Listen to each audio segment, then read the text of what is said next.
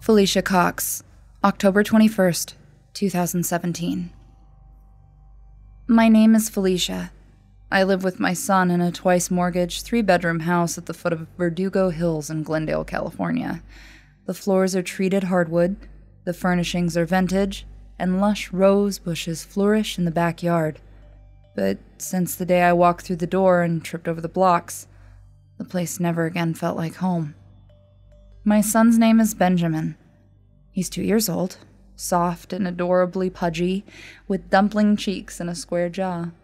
His skin is several shades darker than mine, colored like his Nigerian grandmother, but his large, deep set eyes are gray and expressive in a manner reminiscent of my own mother's.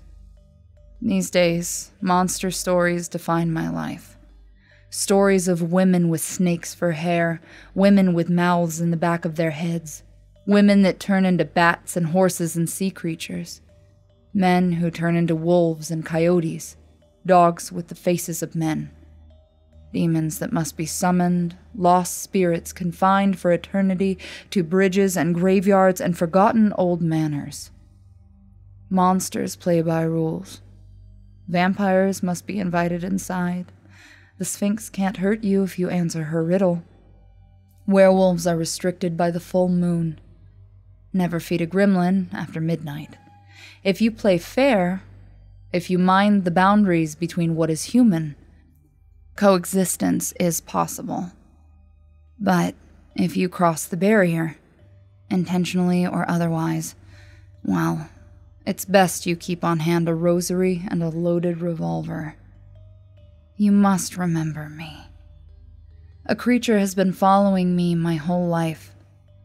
No matter how far I run, no matter how many times I try and start over, it always finds me. It can start fires. It can make things appear and disappear. And it always takes the form of a child. Its true image is only visible when it is captured on film. It tormented my late mother to near insanity. It drove my father to suicide. And it's destroyed any hope I've ever had of a normal life. It killed my brother. Now it wants my little boy. Six months ago, I buried my husband. I could try and blame the thing for Isaiah's death, but that's a hard sell. It does tend to bring misfortune whenever it comes around. Even so, the lion's share of culpability for my untimely widowhood can be squarely pinned to the asshole who plowed over my husband like a speed bump and left him to bleed out in a Linwood gutter. They still haven't caught the guy. The cops tell me they're looking, but I shouldn't hold my breath. There were no witnesses, and it's not like they're going to find fingerprints. The driver was probably drunk. He had to be going at least 20 miles over the speed limit, judging by how far Isaiah was thrown. Isaiah had only stopped to get a sandwich at Ralph's on the way home from a marketing convention. It bothers me, the randomness. All it took was a fraction of a second to erase him from my life forever, to take him away from our son. Five days after Isaiah's funeral, it left me the blocks. The in laws had departed that afternoon. Leaning over the barrier at Bob Hope Airport, they assured me one last time Benjamin and I were welcome to stay with them in Oakland if our big house were to seem too lonely. Maybe. I woke around 3 a.m., drenched in sweat from a nightmare I didn't remember. Something was dancing with flames and a cacophony of screams. I was struck by just how silent the house was, now that the robust stream of house guests, relatives, and friends, and assorted well wishers bearing condolences and food had dried up. I plodded down the hallway to Benjamin's room. My son was peacefully asleep, moonlight streaming through the blinds, casting pale lines of light over his small body. God, he was a beautiful child. For the first time since I'd gotten the call from Long Beach PD, I saw beyond my shock and grief and focused on everything I had to worry about. Isaiah and I bought the house anticipating two incomes and a big family. Now, neither would be a possibility. The house had been a little out of our price range, but it was so pretty. The charming French farmhouse at the end of the manicured, magnolia lined block on a hill, purple mountains rising in the distance. And in the end, we crossed our fingers and went for it. I was making good money as a senior accountant with PwC, and Isaiah insisted he and his partners would sell the company he co owned, Royal Bash Marketing, within the year, netting him a seven figure windfall. And then the prospective buyout fell through, then fell through again. I quit my 60 hour a week job when Benjamin was born and took a position at a mid sized business management firm in Beverly Hills, handling tax preparation for their biggest clients. They let me work from home, but the cut in pay was substantial. Isaiah's 401k, when it was released to me, would be enough to peel the bank off my ass temporarily, but once that was gone, my salary wouldn't cover the mortgage. Default was a possibility. Foreclosure was also a possibility. I decided not to think about it. I closed the nursery door and stumbled groggily downstairs to the kitchen, visualizing a glass of the Pinot Noir left over from the funeral. And there they were, sitting on the kitchen island. Five of them. Alone. I think I screamed. I lunged for the A block apples, aardvark, antelope, angel, praying it wasn't real. I ran my fingers over the hand carved surface, considered lifting the little cube to my lips to taste the wood, convinced it was solid. I dropped the block. It clattered to a rest under the kitchen table. I took the stairs two at a time, grabbed Benjamin and my keys, snapped my son into his car seat before he was aware enough to even start crying, and took off driving. Somewhere. Anywhere. We drove for hours along the empty freeway, past the 405, through the twisted, treacherous mountain road of Las Virgenes, until it backed into PCH, then north. I kept my foot on the gas until I saw the Pacific Ocean. 70, 80, 85, not fast enough. I was two miles outside Carpinteria when the first streak of blue cut through the black sky, and as the darkness receded, so did the fog in my head. Benjamin had knocked out. His little head drooped on a shoulder and his pudgy lips curled into a dreamland smile. I pulled off the highway, turned around, and began the much less graceful trek back home. On the 101, somewhere around the Vineland exit, caught in a third snare of gridlock traffic, I started thinking reasonably. If the thing was going to hurt us, it would have done so already. This wasn't the first time it had inserted itself into my adult life. Two years earlier, before my son was born, I'd come home to find the same blocks blocks that had belonged to my dead brother, Shane, before burning with his childhood home on the floor of my living room, spelling out Benjamin. Moments later, the storage unit where I'd kept my late mother's belongings caught on fire. The thing had stayed quiet since then, biding its time. My mother had been convinced it needed to be verbally invited inside to do any damage. She was wrong. I'd been very careful about who was and was not invited into my home. Isaiah swore no strangers had crossed our doorway, and I doubt the guys at Renobox Storage handed over the keys to my unit to some unknown child. Yet, the thing had no problem hanging around starting fires and leaving me messages and blocks. But if the thing meant harm to me or my son, I asked myself, why hadn't it set my house ablaze? If it could access the kitchen, why not snatch up my toddler in the dead of night? I was left with two possible answers. The thing, for some reason, couldn't actually hurt us. Or, two, the thing, for some reason, didn't want to hurt us. 45 minutes later, I pulled into my driveway. My house was empty and untouched. The blocks were gone. I never took my in laws up on their offer to accommodate us in Oakland. The thing found me three times. It could manage a fourth. I did, however, cultivate a more strategic mindset. I didn't intend on spending the rest of my life, and Benjamin's, constantly looking over my shoulder. The thing was playing a game with us. Games have rules. There had to be a set of rules. And if I knew exactly what I was up against, maybe I could do what my mother couldn't fight back. A week later, I received some minor good news. I went into Isaiah's office to sign the paperwork for his 401k and came out with a side hustle. Apparently, a new outfit was interested in buying Royal Bash Marketing, the entity I now owned a third of, but they were insisting on an audit. Isaiah's surviving partners needed someone they trusted to sort through five years' worth of disorganized invoices and receipts. It was staff accountant work, but I couldn't argue with a paycheck. I also registered for an online class through Santa Monica College Anthropology 112 Magic, Witchcraft, and Legends. According to the syllabus, I would be learning about storytelling traditions of cultures around the world mythology as explanation for natural phenomena, and rituals as protection against the unknown. If I was serious about finding a strategy to deter the thing, this seemed a better place to start than Conspiracies R Us on YouTube. I coughed up $200 for a hardback book as thick as a red brick called Our Stories Ourselves.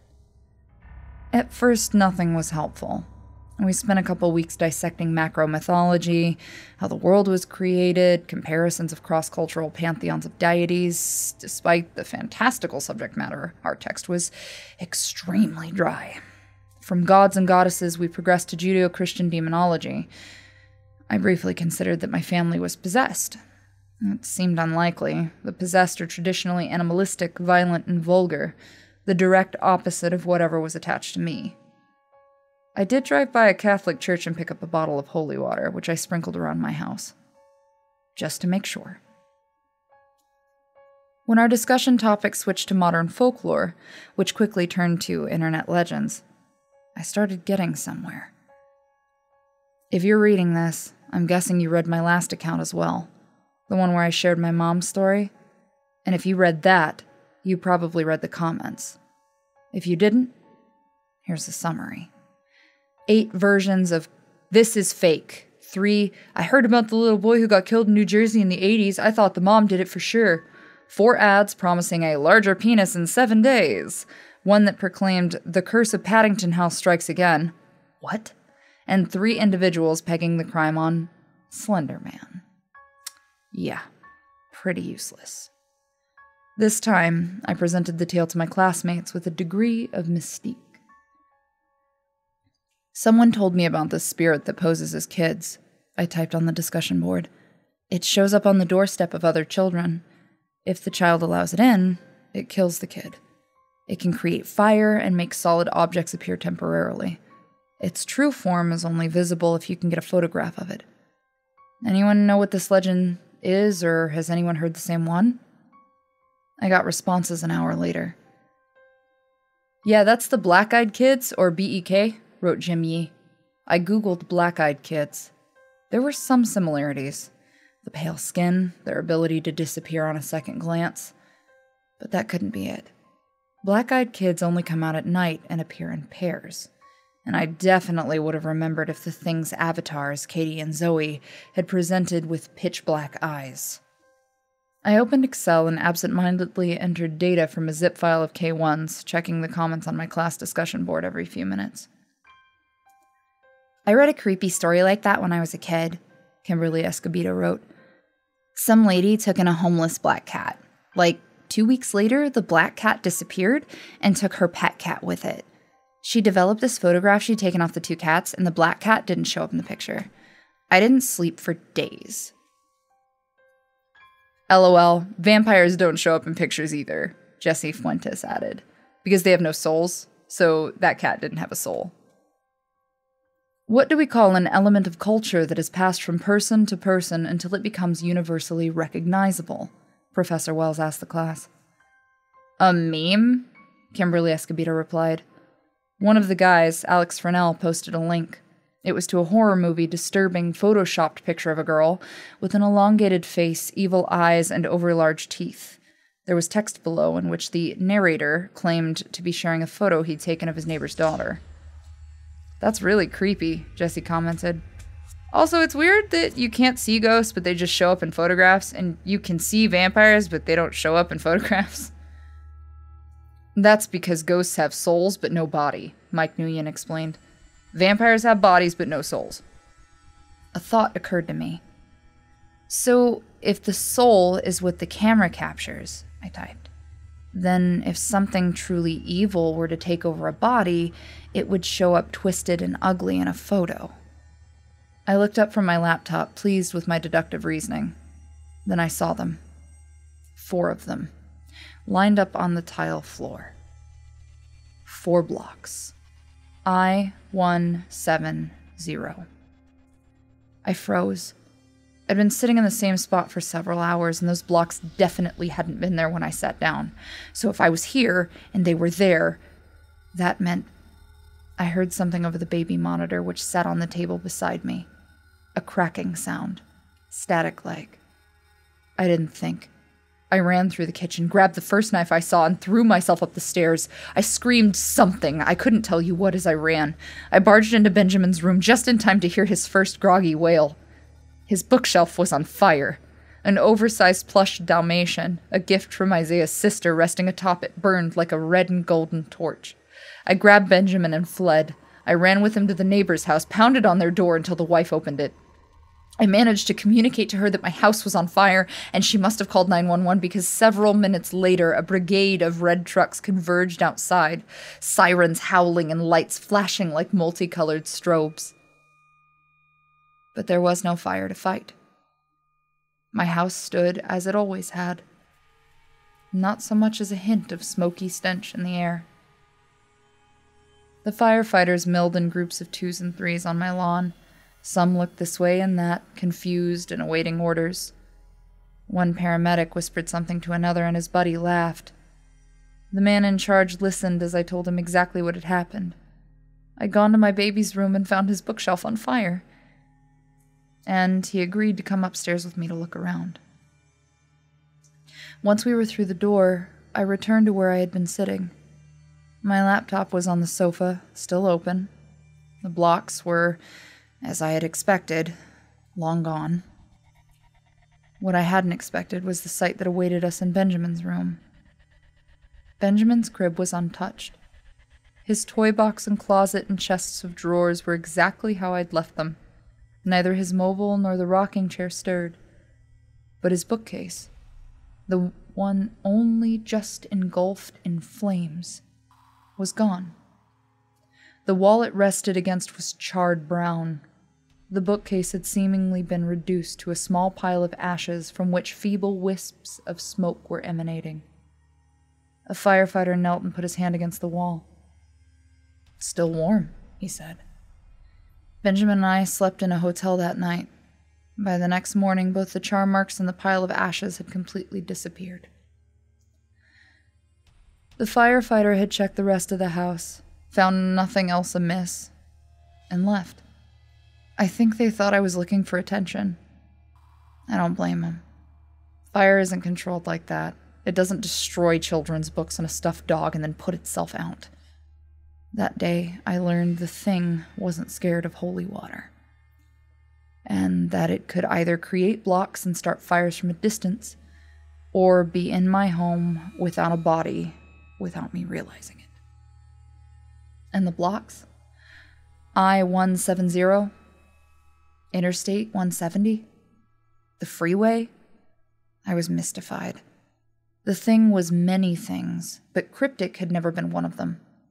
I was left more confused than before, the same perplexing thoughts still connecting and disconnecting in my head, entangled with the unknown meaning of I 170.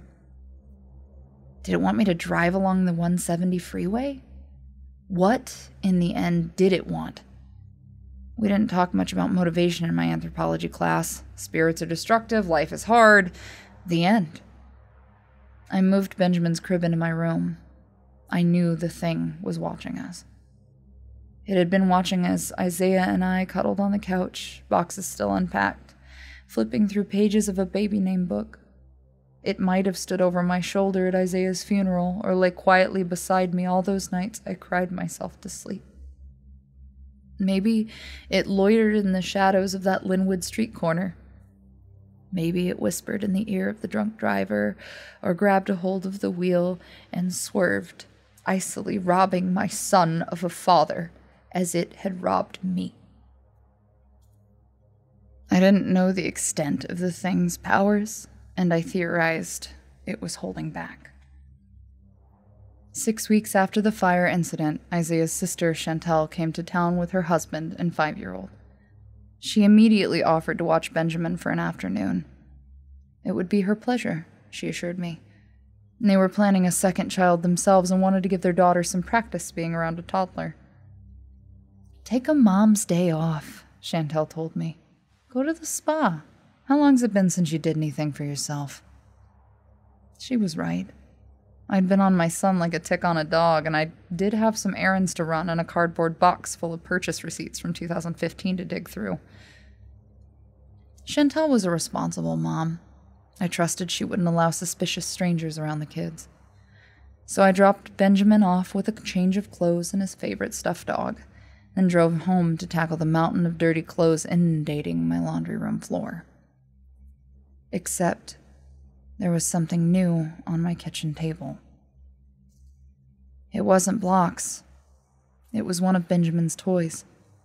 A puzzle that, when pieced together, depicted the state of California, with pictures of landmarks drawn in the appropriate places Disneyland, Hollywood, Redwood National Forest, etc. It sat there, fully assembled. Though I hadn't so much as pulled the plastic wrap off the box, Benjamin was way too young for that toy. It had been a baby shower present from a work acquaintance.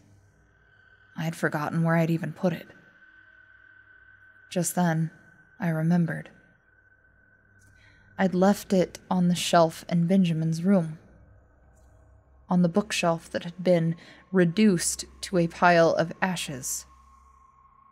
I felt my pulse in my ears. My hands hung like weights at my side. I don't know how I fought the urge to run, but I fought it, and I stepped closer. Near the bottom of the puzzle map were two slashes, forming an X. That wasn't supposed to be there. The violent markings cut all the way through, the thick cardboard ribboned betraying that the knife, claws, had been dragged from left to right. X marks the spot. This X was positioned over one of the cartoony illustrations through the chipped paint. I could read the label Vasquez Rocks. The thing wanted me to go to Vasquez Rocks. Was this the meaning of I 70? I was supposed to drive to an over filmed tourist trap to what? Meet the thing? The thought dropped like a trapdoor in the pit of my stomach, but I wasn't going to spend the rest of my life running. Benjamin wasn't going to spend the rest of his life scared. I called Chantel and was assured my son had fallen asleep in her daughter's lap as the family watched Finding Nemo together. And then I scooped up my car keys and headed for the highway. I veered left when the 134 freeway split away from the 170 turnoff. I noticed that the 170 wasn't even an interstate freeway. Eventually, I approached jutting rock formations silhouetted against deep blue twilight. By the time I parked alongside the weeded entrance to Vasquez Rocks, it was nearly night. I'd been hiking there, once, with some college girlfriends. Even during the day, the place was eerie. If you looked past burnt gold weeds and an occasional critter, Vasquez Rocks could be the surface of Mars. I stood at the entrance for what felt like hours, waiting for the thing, waiting for directions.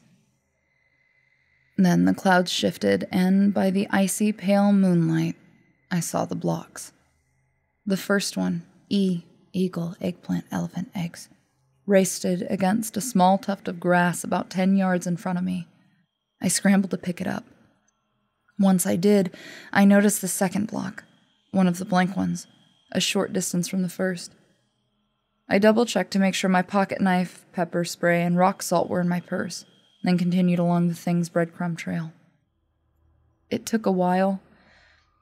I hiked across dusty flatland, up and down small hills around shallow caves. In my head, I kept count 17 blocks, 18, 19. Several times I was sure I'd lost my way, only to see the next block half buried in a shallow crater or positioned at the top of a rock formation. 29, 30, 31. I found the 40th block, J, jaguar, jellyfish, juniper, jackrabbit, bathed in moonlight at the top of a gently sloped, flat topped hill. On the hill was a house. It was a large house and a beautiful one. Moss drenched red brick walls, grand Palladian architecture with an angular roof, shaded porches, and white Grecian columns. It reminded me of a set piece from Gone with the Wind. Nobody in California lived in a house like this. I don't think anyone anywhere owned a house like this anymore. The front door was wide open. In retrospect, I ignored a whole lot of weird. I should have wondered what a large mansion was doing in the middle of a national park. I should have found it strange I hadn't seen its outline as I approached, that it had appeared basically out of nowhere. But I didn't. I was drowning in a sea of weird and working off the logic that only works in dreams. There's a house there. The door is open. So I must go inside. I found myself in a magnificent parlor room. The neoclassical theme matched that of the exterior. Doorways were buttressed by wood carved columns, ornate flowers, and swirls framed the windows and large stone fireplace and the walls were painted a rich blue that complemented the dark stained hardwood floors and spiral staircase. China figures sat on display in a buffed cabinet, and a large brass chandelier hung from the ceiling, lit candles sweating wax. I didn't know what to make of it. This house looked like an exhibit in a museum, except lived in.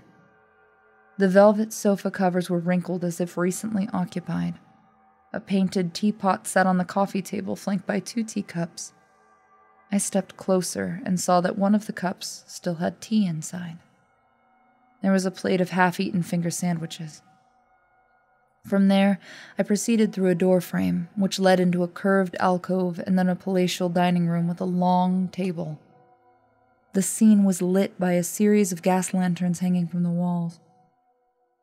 I assume there was food, though I couldn't have told you what they were all eating, because I only saw the bodies. I couldn't scream. I couldn't move.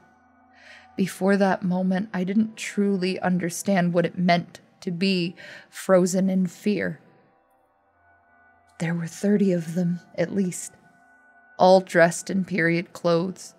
The women wearing frilly gowns with hoop skirts, the men in button down shirts and tailored jackets, the servants with lacy caps and black frocks. They hung off chairs, hunched over their plates, sprawled across the floor.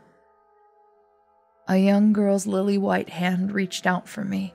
A small rivulet of blood pooled around the extended extremity, staining the lace cuffs of her dress and oxidizing her gold rings.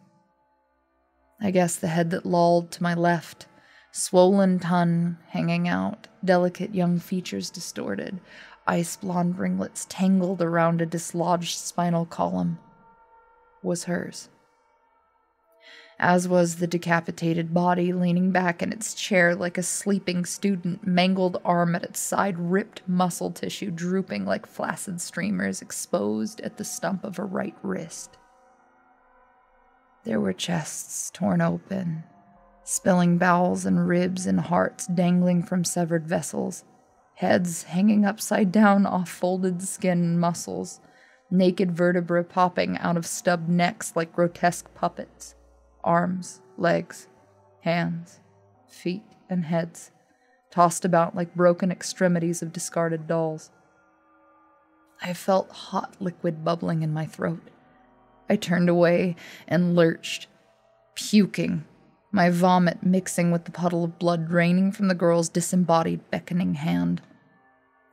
I turned and ran, back the way I came, back through the quaint, historic, empty parlor. Except it wasn't empty anymore. There were bodies in a pile on the sofa. A woman lay face down midway up the stairs. There were several steps between her legs and her torso. I swallowed a second wave of vomit and looked only toward the open door. A body lay in my way. It was a middle aged man, face up. And even in death, his wide blue eyes betrayed unimaginable horror. His nose was large and bent. There was a pink birthmark under his right eye, and his mouth twisted in one final scream. He bore no injuries to his front, but if I had to guess, I'd say the slimy gossamer sacks on his chest were his removed lungs. He'd died running, I thought. He'd been attacked from behind. He was killed last. I jumped over him, clenched my eyes shut, and stumbled out the door. I opened my eyes. I wasn't back on the plateau. My surroundings were dim and brown, lit by a single gas lamp. I stood in a small dwelling on a dirt floor, in stark contrast to the mansion I'd previously encountered. This home bore the countenance of abject poverty. The only furniture visible were a rotting wooden table and a single pallet bed with a leaking straw mattress. Despite their vast differences, the hovel and the mansion had one thing in common. Three bodies were piled on the bed. Rivers of blood ran down her legs, her face so badly bruised I could barely distinguish features. The second girl, maybe 18, was similarly disfigured, with the addition of a deep laceration from her rib cage to her pelvis, spilling bowels onto the bare legs of the third woman. This one was older, in her late 30s, sporting a nearly decapitating gash across her throat. I choked and stumbled backwards into a crude wooden table. No, I couldn't bear, but I looked anyways. Two more bodies lingered at the table, one folded on the ground and another lying supine on top. I couldn't see much of the body on the floor, and I had no desire to. I stepped closer to view the body on the table. I immediately determined how he had met his untimely end. Dark blood leaked from the cut across his neck, trailing down his chest like a breastplate. But unlike the others who died where they'd fallen, this corpse looked specifically placed. Blood had been smoothed across his closed eyelids. Lines and circles were painted on his cheeks, and his chest was covered in what I'd guess were words, but not words written in any written language I had ever seen. Finally, my eyes rested on a seventh corpse. This one was a grown man, dressed in a stained work shirt and torn slacks, sitting upright in a chair in the shadows. At the far wall of the dwelling, I guessed he'd was the father of the murdered children. He was dead as well, but dead in a completely different manner. I saw the bloody hole in his temple and the pistol on the dirt floor, fallen from his limp hand. I turned away from him, back to the little boy on the table. Strange, he looked almost peaceful. If I hadn't known better, I'd have said he was smiling. He'd been a cute kid, too with a square jaw and a head full of dark frizz. Then his eyes snapped open. I cried out. The kid was alive. He pulled himself into a sitting position on the table, hole in his neck gaping like a screwed up cartoon. He stared at me, big eyes wide and mirthful, grinning. Hi, Felicia, he chirped joyfully. Do you like my work? And with that, he hopped off the table and sauntered out the door. And then the house collapsed. The walls melted into ash like butter in a pan. I was lost in a sea of gray, eyes burning, throat tight, air around me hot and oppressive. I couldn't breathe. I coughed as I ran, eyes closed, arms flailing wildly until I fell to my knees and curled into myself, shaking and crying and praying for help. I don't know how long I stayed like that. It wasn't until I realized that the air had cooled and I'd cried the dust out of my eyes I sat upright and found myself atop an empty hill, surrounded by white ash that rested on the dirt and low shrubs like melting snow. As I stared at the golden city lights in the distance, I saw the whiteness receding, dissipating into nothingness, leaving the terrain as though untouched utterly confused as to what I had just experienced. I pulled myself to my feet, my toe connected with something small and hard. I looked down. It was a human skull, child sized.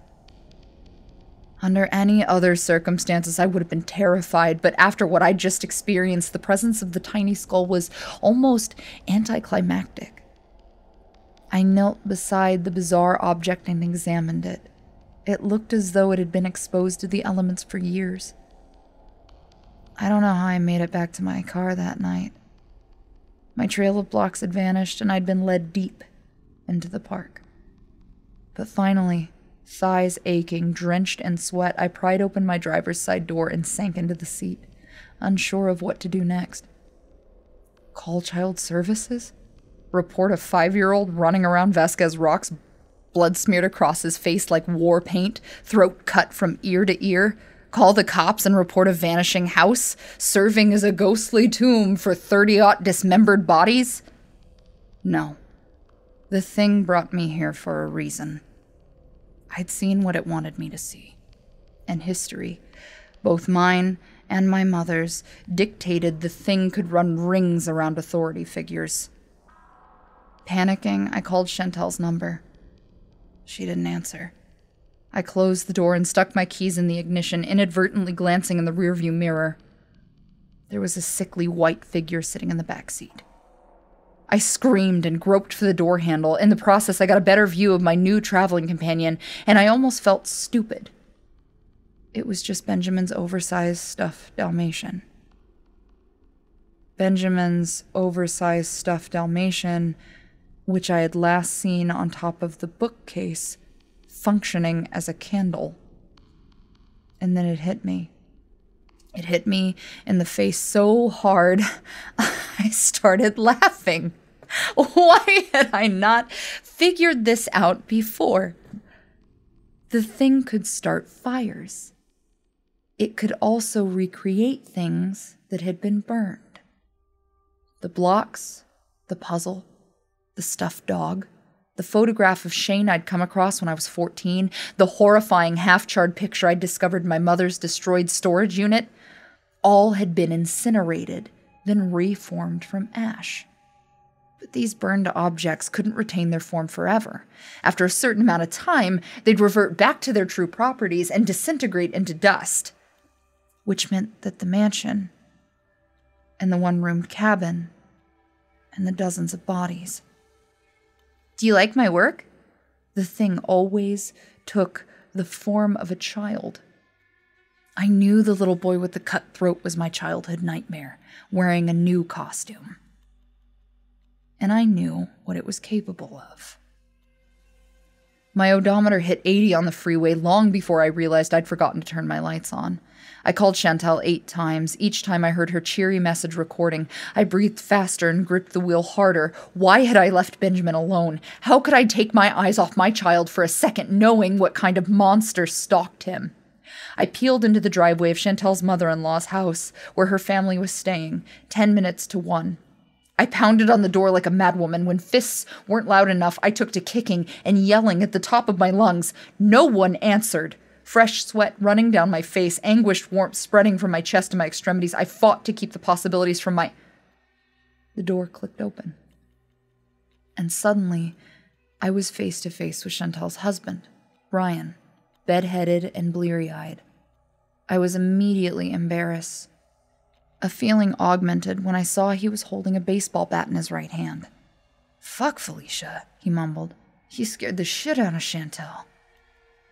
I'm sorry, I said meekly. I. Is Benjamin asleep?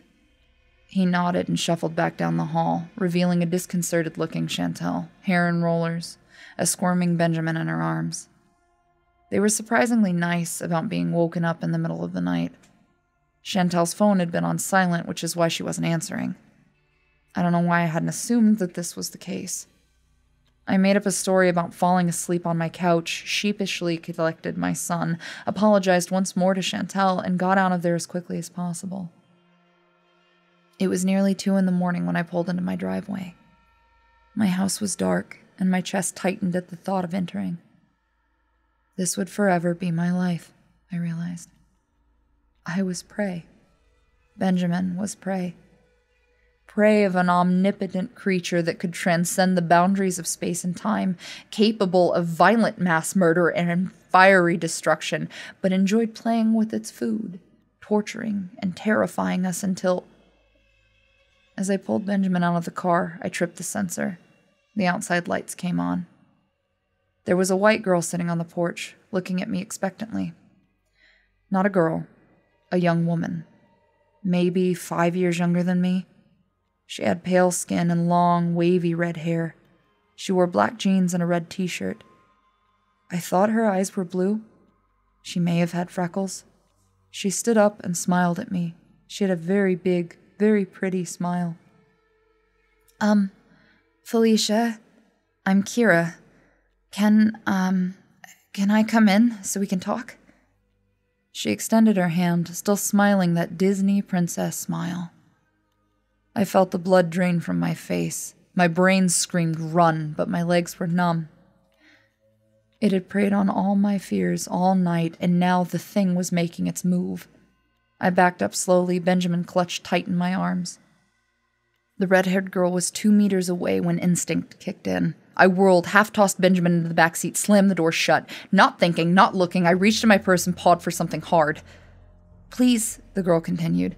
She was leaning on the driver's side window now, her smile, close up, seemed menacing. Can I talk to you? I know something I really think you should know. I found my pepper spray. In one movement, I dropped my purse, flicked back the cap, and pressed the trigger. The girl hollered violently and dropped to the ground. I nudged her out of the way and pulled open the car door, smacking her in the face. Fuck! Are you kidding me? Stay away from my kid! I screamed at her, climbing into the car. I tried to pull the door shut, but she clutched the frame. I reared back my foot to kick her. She reeled.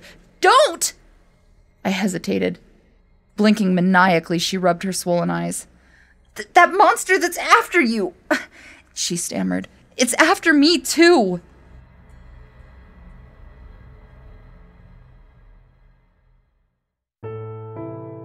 Hey there kids, it's me, Mr. Creepypasta, and I just wanted to tell you thank you so much for watching tonight's video, or listening to tonight's episode of the podcast.